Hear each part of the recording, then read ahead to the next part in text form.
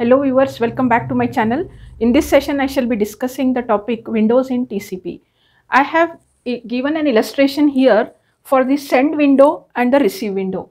But before I explain you the different uh, components in each of these window windows, what I would like to tell you is TCP supports bidirectional, bidirectional communication. The sender and the receiver can send the data to each other. The sender and the receiver can send the data.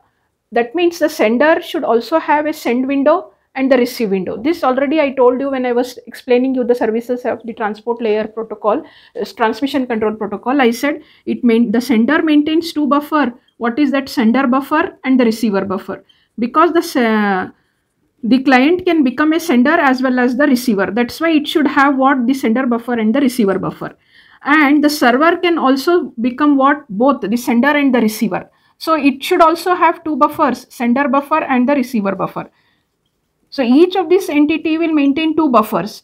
But to understand the concept of the send window and the receive window, we will take the send buffer. That means the send window from the sender side and the receive window from the receiver side. So if we take this and we assume that it is a unidirectional communication, then it is possible for us to understand the concept for the send window and the receive window. But remember, once again, I'm telling if it is a send window, it is the window size of the sender. But sender is also having another window called as receive window. But at time being, we are assuming what a unidirectional communication, and we will just show the window size at the sender, the window size at the receiver. That's why this topic I have made into two parts here in the on the whiteboard. One is the send window, that means the window size at the sender.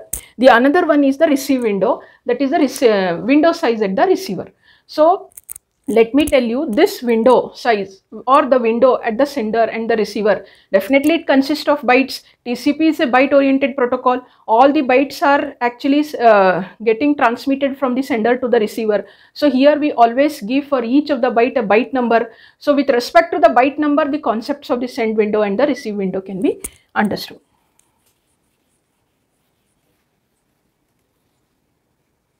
So here sender receiver. Why i am writing this is to tell you that the sender tcp protocol suite application layer transport layer. At the receiver side application layer and transport layer. These two layers i have to definitely write here so that when i'm explaining you about the bytes i would like to tell you from where the bytes are uh, pushed and from where the bytes are pulled so then th- it becomes very clear to you the concept for this. Now first let us look at the send window. Send window is what? The window size at the sender. What is what do you mean by window size? Now the sender when it is receiving the bytes from the application layer okay the bytes that are getting or that are sent to the transport layer. The transport layer maintains a buffer here to store all the bytes. This i have shown you what in my previous video session that it is maintaining a buffer. We are showing it with a circular array and each of this location will have a byte. The same thing okay? If i'm not connecting the two ends i am putting it here in this form okay? That is what the buffer. So what does this buffer consist of? It consists of bytes only. But we have to give a clear in indication here. The different categories of bytes. Now what do you mean by categories of bytes? See if this is the uh, buffer that is there at the sender side first thing is you just assume for the sake of simplicity i have given the byte number 201 and the last byte number is 300 201 to 300 so let us assume that the buffer capacity is 100 bytes. So this buffer which i am showing here it can hold only 100 bytes. In that 100 bytes byte number 201 to 260 these bytes are sent already. That means the sender it has got 100 bytes capacity. And the first byte number is 201 in this. And it has sent from 201 to 260 who has sent? The sender has sent this 201 to 260 that means 60 bytes is sent to the receiver. That but the sender is still holding those bytes here in the window in the buffer the reason is for these bytes which the sender has sent still it has not received the acknowledgement Until it receives the acknowledgement, it will keep those bytes in the buffer. That's why I am, am indicating here with this from 201 to 260, we call those bytes as outstanding bytes. And we write here the uh, explanation sent but not acknowledged. That's the reason this 201 to 260 is still residing in the buffer. What about uh, the remaining 261 to 300? 40 bytes. 40 bytes are already what? They, these 40 bytes they are collected from the application layer and it is there in the buffer and still it has not sent it is there in the buffer only so at the sender side the capacity is 100 bytes out of that the sender has sent 60 bytes the remaining 40 bytes it is still holding in the buffer but it has not sent to the receiver now it cannot what uh, first thing is once it receives the acknowledgement only then it may start sending these bytes the reason is very clear. It should have sufficient space also to store the acknowledgement. I, I, you mean to say the store the bytes that comes from the application layer. That's the reason the complete bytes are now getting filled in this buffer. And what has happened before 201? See 201, 200 byte number was already sent and it has got acknowledged. That means it will get deleted from the buffer. It will no more store in the buffer that bytes that have got acknowledged. So from this, before this 201, all those bytes are acknowledged. That is why those are not shown here in the buffer. And the buffer capacity is itself the window size at the sender side. Window size is what the complete buffer capacity. So next is what the remaining 40 bytes we are writing here bytes that can be sent Still the sender has not sent. What about 301? It can bytes that cannot be sent. The reason is definitely there is no place to store in the buffer. From 301 if the application layer is sending, it cannot be still included in the buffer. What about the receive window size? Now come see the same byte numbers I am using here to explain the receive window. Now at the receiver, receiver is also maintaining a buffer. Okay, whatever bytes have come here from this the sender, all the bytes get what? Stored in this buffer. The same thing I am showing it here in this example. Allocated buffer is from here to here. So what is that first byte number 201 and the last byte number 300 allocated buffer in this case is also what 100 bytes allocated buffer is 100 bytes. Now in this 100 bytes you have to see the different categories of bytes. First one is from 201 to 260 bytes received and acknowledged waiting to be consumed by the process. So this receiver has received bytes from 201 to what? 260 this is what we had sent we have told no in, in the earlier the sender has said to uh, sender has sent 201 to 260 so that means now i have to show in the allocated buffer also. The receiver has received from 200 to 260 but still it is lying in the buffer means this application layer has not yet taken these bytes from the buffer.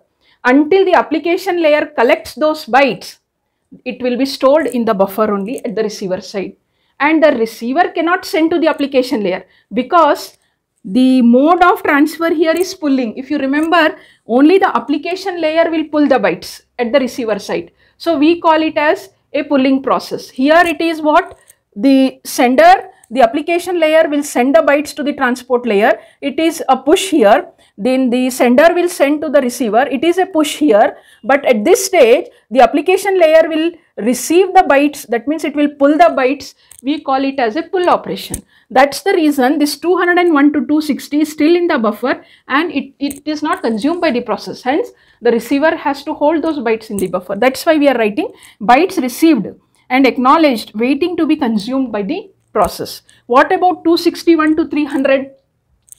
bytes that can be received. Now these are not the bytes that are received, only these are the empty locations from where 261 to 300. So these 40 locations are still available with the receiver. It can receive another 40 bytes also and whatever is the capacity to receive the bytes that becomes the send window receive window size. Now here you have to be very careful. Not the allocated buffer is receive window size. Only the empty. That means this is the capacity and this many bytes can be received from the receiver. That becomes what the receive window size. Whereas in the send window size, you have seen the complete allocated buffer itself is the send window size. But at the receiver side, only the bytes, okay, only the capacity, only the, this many locations are available at the receiver. That becomes the receive window size. That's why I am clearly indicating here from here to here bytes that can be received from the sender and you call it as receive window size and you give the name as RWND. Popularly in uh, all most of the textbooks the uh, word used is RWND and how to calculate RWND? RWND is equal to buffer size minus number of waiting bytes to be pulled. Very clear from the uh, diagram also buffer size. Buffer size in this case is what?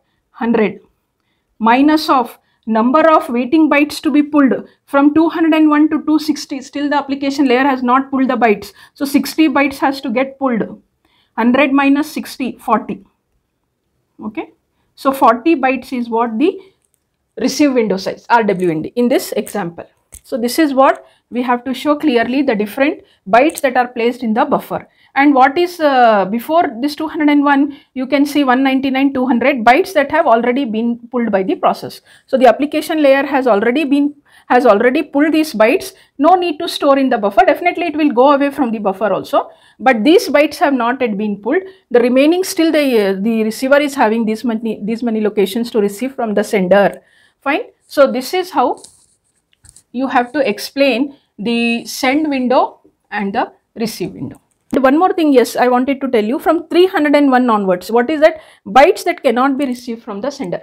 Why it cannot be received? The capacity is only 40 bytes.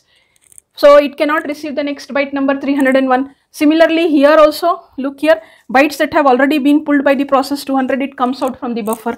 So this is out of the buffer. This is also locked out of the buffer, it cannot receive. So its capacity is only 40 bytes.